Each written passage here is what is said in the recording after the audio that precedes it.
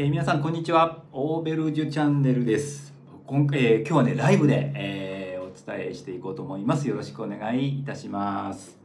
えーとね、だいぶね東京も、えー涼しくなってまいりまして、えーオーベルジュの入荷の方もねもうドドドドッと、えー今入ってきてまいります。あのか入って、えーの来ております中で、えー、と昨日ねあの皆様お待ちかねのあのちょうどあのこの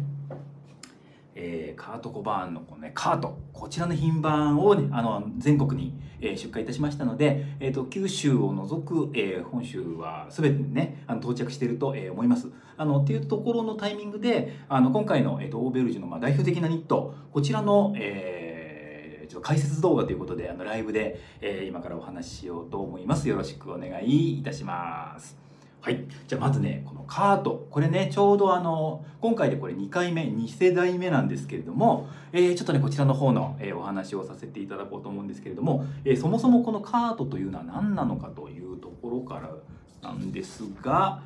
えーとね、あのグランジ好きの皆様は大好きなこの1993年、えーカート・コバーンのね MTV アンプラグドという、えーギター弾き語りの、えー伝説のライブというのがございまして、えー、とその時に着ていたのがこの、えー、とモヘアカーデと言われている、えーちょっとねモスグリーンのような、えーカーデガンだったんですよね。これが本人が着用していた時の、えー写真なんですけれどもちょうどこれこのカーデガンのオリジナルが、えーと今から1年前2年前か。2年前に3000何百万かで、えーとオークションで落札されたなんてねそんなニュースもあるような、まあ、いわゆるこうグランジを代表するネルシャツとともに、えーネルシャツとかクラッシュ、えージーンズとともに、えーグランジロックを、えー代表するアイテムということでこのモヘアカーディガンっていうのが、えー存在しているわけなんですよね。じゃあ、えー、とオーベルジュとして、えーこの人この一着的なところからこの一着カートのカーディガンこれを作ろうという企画をしたんですけれどもこれがねなかなか難しいもう自分もあのスローガン時代からもうかんつもう56回は挑んでるんですよね。で何が難しいかというとこれね大変うまくいってるんですけどねカートのねこのモヘアのカーディガンの毛がこんな風にね束になってうねりながら寝ないんですよモヘア使っちゃうと。大抵あのモヘアカーディガンっていうと,、えー、とちょうどね60年代にアメリカでも大ブームになった、えー代表的なブランドだったキャンプスあそこが出した、えー、とモヘアがね15%とか10%とか入ってほとんどがねアクリルの塊でできた、えー、とこういったカーディガンえなんですよね、え大概ねダブルジャガードという、え組織になっていて要するに1階建て2階建てっていう2階建て構造になっていて、えー、と糸をだから2本以上2色以上の、え色で編み上げるんですよ。でダブルジャガードで何ができるかっていうと、まあ、柄がね当然起こせるということと、え無地にあったにしても、えーなんですかねこの、えー天軸だとこうくるんとなっちゃうところがダブルジャガードだとこう板状になるんですよね。なんかね板状っていうのがこう古着ご存知の方だとよくねイメージわかると思うんですけれどもあの、まあ、不白とは言わないですけどあのもうだれないであのカチッと切れるというかねあのそういうイメージで作れるのが、えー、とこの、えーダブルジャガードのニットになるんですよ。ただカート着てるこれは、えー、と一色無地じゃないですか。そういうのもあるんですよあの実際にダブルジャガード組織にしながらも糸を何色も使わないっていうあの技もございますのであのそういった意味で、えっとこれはそのカートのこの製法自体は、えー、乗っ取ってるんですけれどもいわゆる、えーオリジナルで使っているであるあろう、えーアクリル、えーとあとモヘアこれを使ってしまうともう大失敗してしまいます。でなんで失敗してしまうかというとまずねモヘアという糸が、えー組成としてすごくね反発硬いんですよ。で硬いし痒いしあとね切り立っちゃうんですよね。こうパーンと寝ないんですよ。こういう感じで寝癖にならないんですよ。なんかね最初このカートのこのね毛並みの毛流見た時に俺一番感じたのがねこれねゴッホのこれ糸杉。このね 杉のグニョグニョグニョっていうのがないと絶対ねこのねカート感出ないんですよね。だけど何度アタックしてももうこれ古着業界でモヘアカーデとかね言われてるんでモヘアを使うんですけどももう全然ダメ。でさらにかゆ、いので、えー、とモヘアには、えー、とモヘアっていう糸とキットモヘアスーパーキットモヘアって言ってどんどんねあの生後数ヶ月っていう形で柔ら柔らかい毛にどんどんどんどんしていくっていうあの仕組みがあるんですけれども結局スーパーキットモヘアぐらいを使わないと到底痒くて着てらんないです。あの今のね新しい糸であったにしても。なんだけどスーパーキットモヘア使うと極めてね銀座のマダム感が出てしまうんですよ。糸も透明感があるし張り腰があるしファーッとこうふわーっとこう広がるようなイメージなので、えーと、いわゆる我々がねちょっとあの常日頃言ってるじゃあラグジュアリーストリートだけどラグジュアリーなんていうのと結構ね真逆な方向行くんですよこの、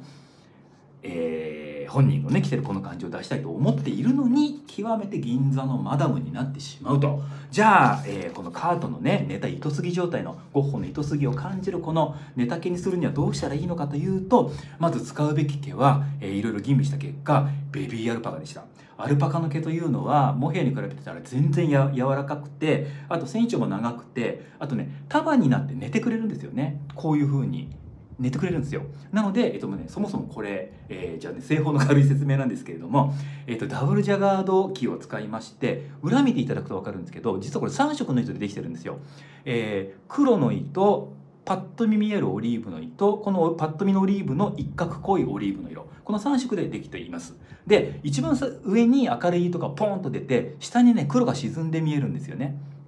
これ分からないこれがいわゆる2階建て構造っていう意味で。これがあるから、えーと、このカートの糸杉が束になったのがよく見えるんですよ。っていうね演出を実は施しているんですよね。あと何と言ってもこのベビーアルパカの柔らかいタッチ。あとこれ一回、えーと、糸で紐をかけた後、えー、編み立てを行ってから、えーと、ガーッとね紐をかけるんですけれどもそれ紐をかけた後一回こう入水、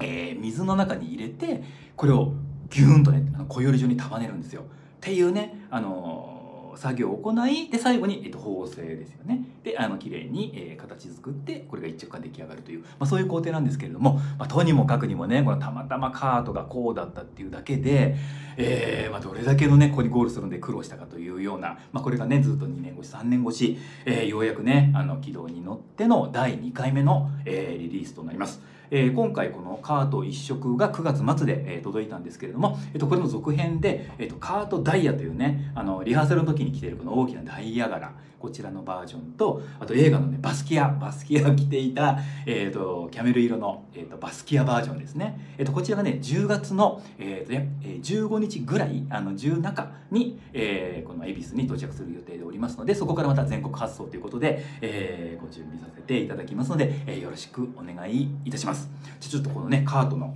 えー、と取扱店舗、えー、読み上げさせていただきます。えーと、広島ヴィンセントさん福井セブンさん熊本アコースティックスさん、えー、青森フリンジさん、えー、滋賀ドゥーバップさん、えー、アーチ東京さん福岡チャルトさん、えー、高松ターミナルさん、えー、神戸ワンテンスさん、えー、ロフトマン梅田、えー、大阪ですねロフトマン梅田店さん、えー、大分リミックスさん、えーと、筑波のダイアリーズさん、えー、宮崎コレクトストアさん、えー、宇都宮アークステイツさんえー、っと福島タイムアフタータイムさん、えー、春日井エアエイジさん、えー、っとブルージブルバイアークさん、えー、大阪ベルベットさん、えー、鹿児島のカーキさん、えー、そして、えー、っと大分のサープラスさん、えー、っとあと韓国のソウルで、えー、っと A ドレッサーショップにも、えー、展開が、えー、ございます。ですね。あと,、え、っとうちのえー、ドーベルジの通販も今日はちょっと間に合わないんですけれども、えっと、明日ぐらいにあ明日明後日かな、えー、っと数点在庫が、えー、持つようにしましたのであのちょろっとだけあのアップしますので多分あのちょろっとなんですぐなくなっちゃうと思うんですけれども、えー、ご希望の方はよろしくお願いいたします。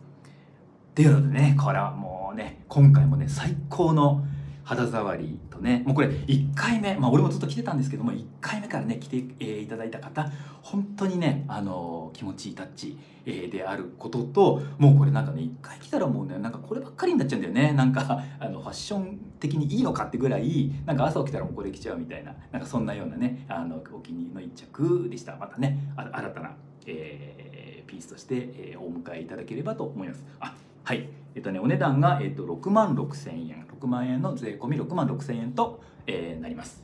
よろしくお願いいたします。はい。じゃあ続きましてこれね今ねちょっと自分が着ているのがえーと、フリンジさん別注バージョンなんですけれどもえっ、とねまず最初ここからですね。はい。トリュフォーの大人は分かってくれないドアネル少年が着ているここ見えますかね？ここ。これこれこれこれこれここね。これがねあの片ゼという組織になりましてえー、っとこれが分かりやすいですね色が。えー、これが、えーと、ずっとうちが定番でやらせていただいているトリュフォーという、えー、このドアネル少年の、ええー、あの肩の雰囲気を真似て、えー、お作りしたバージョンでいわゆるこの辺りがね超絶減らし目が もうすごいですねだからこうナスカの地上絵状態ですよねこれねもうとんでもない、えー、技法が入っているんですよ。まあ、こんなことできるのは、えー、まあねあの皆様ご存知の福島の、えー、と丸工さんっていうねあのニット工場さんなんですけれどもいわゆる、えーとね、ハンドフレームという、えー、機械です。要するに電気がなくてもザーザーザーとこう手でね、えー、編み進めていく、えーと、ハンドフレーム機で、えー、お作りしたニットになってるんですよね。でここでじゃあこのハンドフレーム機っていうのがを使うと何がいいことがあるのかのちょっとお話を、えー、したいと思うんですけれどもえっ、ー、とねこれね自動えっ、とそうだなじゃあニットにはねこういう感じ、えー、機械機械化が強烈にされているのから、えーと、棒針フルハンドまでっていうのを順番に言っていくと,、えーとね、ホールガーメントっていうもう完全自動もうねプログラムさえ打っちゃえば、えー、ボタンを押すだけで1着のセーターがもう勝手にできてしまう。例えばもう夜ね夜中の12時にボタンを押せばもうシュンシュンシュンシュンって言って、えーと、明け方にはポトンって1着編めているみたいな。もう本当に人の手を介さないで、えー、できてしまうぐらいのレベルの機械化されたニットがホールガーメントというねあの島世紀というところが開発したニット。これは当然、えー、もうすでにあの世界的に流通してるんですけれどもそれが一番機械化されたもの。次に、まあ、自動機と言われている、えーと、ある程度機械が勝手に編んでくれるんだけれども、まあ、リンキングしたりねあの減らし目していろいろあの組んだりっていうことは最後に人間で、え組み上げるという、まあ、これが大体自動機のニットっていうのが、えー、ございます。で次に、えーとこれがねハンドフレーム。っていうのこうパーツを全部人間がザーザーザーって機械で編むんですけれども基本的にこうね目写しって言ってあのはい、えー、ここ来た来ましたんであの1個飛ばして飛んでください。はい1個飛んでくださいって全部こう手で写していったりとかあのそういうのね細かく細かく、えー、機械相手ですけれども手でやる。あの電気は使わない級のあのクラシックなね編み方なんですけれどもそのハンドフレーム機というのでえっ、ー、とねこちら、えー作られております。で最後が棒針ですよね。かぎ針棒針のもう完全に棒だけで編んでいく、まあ、こんな風なねあの順番になってるんですよ。で結局このハンドフレーム機何がいいかというとえっ、ー、とですね密度が入るんだよね。えっ、ー、とねこのちょうど例えばこういうところこうこういうところが一番よくわかるかな。えーと、これだけの密度をぎゅうぎゅうに入れながら、えーと、減らし目っていうのが自動機だとねあのねできないんですよね。なんか緩くなっちゃうんですよ。で、えーと、我々例えばあのカットソーなんかでもあのビッグシャーロットとかココとか、えー、とスビンを使いながらももう異次元の あのドズメっていうのを、えー、売りにしてますよね。あの、えー、言ってはいけないあの「ベ」から始まる5文字の記事にしてももう本当に、えー、オリジナルを超える、えー、土木で打っていく。っていうのを、えー、オーベルジュブランドとしてはね信条としておりますのでニットもねできる限り形が崩れないようなしっかりした編み地っていうのを、えー、と作りたいわけですよ。となるともうねハンドフレーム以外ね考えられないですよね。もうこのかっちりした美しい編み地っていうのはあの自動機ではね到底できないんですよね。なんだけど局ねハンドフレームっていうのはもう人海戦術なだけにもうね全然、えーと、機械もないしあと機械製造メーカーっていうのもねほとんど、えー、なくなっちゃってるんですって。でこれあのえー、マルコさんにねあの福島の工場さんにお邪魔した時に聞いたんですけれどももう例えば、えーと、もうじゃあ工場さん残念ながらね廃業しますっていうともうみんなで車で行って、えーとね、パーツを全部ね分けてもらうそうです。で結局ほら売ってもいないから、えっと、そういうパーツってどんどんどんどんねもうだから本当にあの円数のね車の、えー、クラシックカーを維持するのと同じような状況で、えーとね、このカルチャーを絶やさないように、えー、と一生懸命されているのが、えー、ハンドフレームの工場さんたちなんですよね。まあねなんか本音を言えばね自動機でさーって簡単に作った方がもちろん簡単にはできてしまうんですけれども一回このねニットの強烈なこの減らしの妙妙義のね味とこの着心地を知ってしまったらもうちょっとねなんかもうね浮気できないぞというぐらいの、えー、安心感安定感が、えー、とあるんですよね。まあ、特にこのねマルコーさんのこれもう半端ないんでここ本当にね簡単にしてばすれば終えられるところをね、まあ、本当にこれ、えーとね、芸術品だと思います。こういったものがねどんどんできなくなっていっておりますので、えー、とこうしてねあの皆様にご提案できるこのタイミングで是非ね1着持っておいていただけると、えー、あのなんていうんですかねもう長く着ていただけますので、えー、本当ねびっくりされると, えー、と思いますよ。はい、で、えー、とこれが、えー、モデル的にはトリュフォーという定番の減らしの、えー、とこのドアネル少年バージョンですね。このとっくりバージョンというモデルとでお色が、えー、ともう一色がこちら。ですね。この自分が着てるのと同じ、えー、とチャコールと、えー、グレーを、えー、年始でミックスした、えー、これがもう一色の方を。であとこちら。エリックという形で、えー、とハーフジップ。ここまでのジップで、えー、とここで、えー、と朝日ファスナーつけたんですけれども、えー、と開閉できるというタイプ、えー、とでこちらの、えー、ともう一個エリックのお色が。こちらですね。これがもう一色の、えー、とキャメル系のお色になります。はい。